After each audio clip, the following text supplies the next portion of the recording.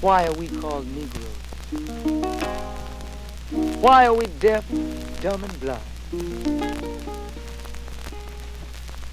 Why is everybody making progress, yet we seem to be lagging so far behind? Why are we mistreated?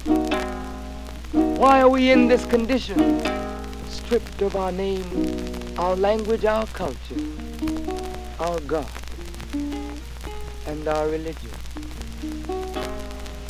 Here in America, all of our religious training has been gotten by the preacher. He has told us of a heaven way up in the sky that we can't enjoy now, but rather after we die. But all of the years that we're living, for us there's nothing but hell, pain, torture, and misgiving. Yet the Bible speaks of a heaven filled with material luxury, which the white man and the preacher has right here so we see. So my friend, take it for what it's worth. Your heaven and your hell is right here on this earth. So let's check back into history, which rewards all research and tells us plainly that before the white man gained entry to the east, he was living in the caves of Europe, a ravenous beast, eating juniper roots and eating flesh raw, till God sent Moses to civilize him and teach him the law. Then following Marco Polo, an explorer, he gained entry into Asia and Africa. From China, he took silk and gunpowder. From India, he took jute, manganese, and rubber. He raped Africa of her diamonds and her gold. From the Mideast, he took barrels of oil untold, raping, robbing, and murdering everything in his path. The whole black world has tasted of the white man's wrath. So, my friend, it's not hard to tell. A white man's heaven is a black man's hell.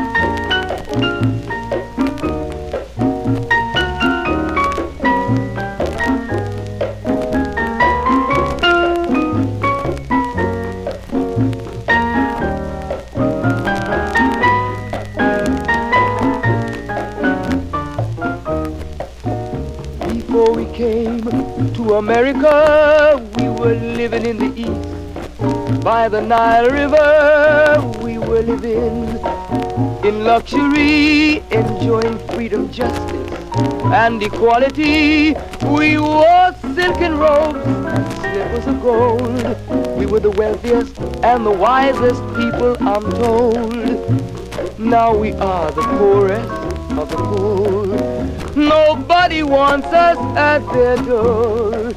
So, my friend, it's easy to tell. White man heaven is black man hell.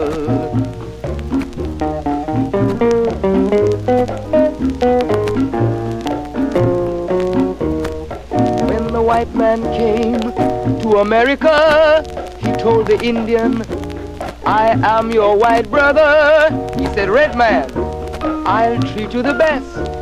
Yet and still he pushed the Indian further west with his white woman and firewater. Tricks and lies, he stole America.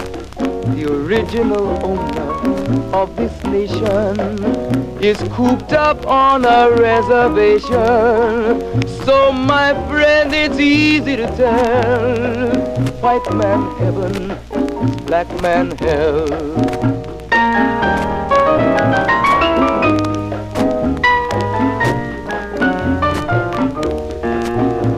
He needed someone to work the land. His back was too weak.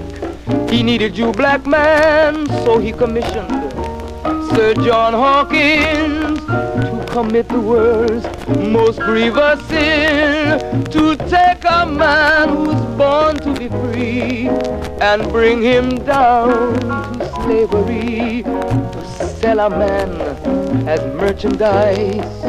On his body put a price. Oh, my friend, it's easy to tell. White man heaven is a black man hell.